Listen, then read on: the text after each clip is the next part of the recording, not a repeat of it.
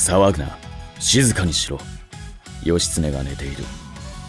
我が主義経の束の間の休息を妨げる者はこの弁慶が音もなく切る。いいか面倒をかけるなよ。